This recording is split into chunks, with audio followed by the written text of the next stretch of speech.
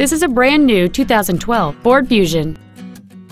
It has a 2.5-liter four-cylinder engine and an automatic transmission. Its top features include Bluetooth cell phone integration, heated front seats, a low tire pressure indicator, Sirius satellite radio, aluminum wheels, and traction control and stability control systems. The following features are also included air conditioning with automatic climate control, cruise control, heated side view mirrors, a six speaker audio system, a security system, front fog lights, privacy glass, dusk sensing headlights, front and rear reading lights, and the leather seats provide great support and create an overall luxurious feel. Stop by today and test drive this automobile for yourself.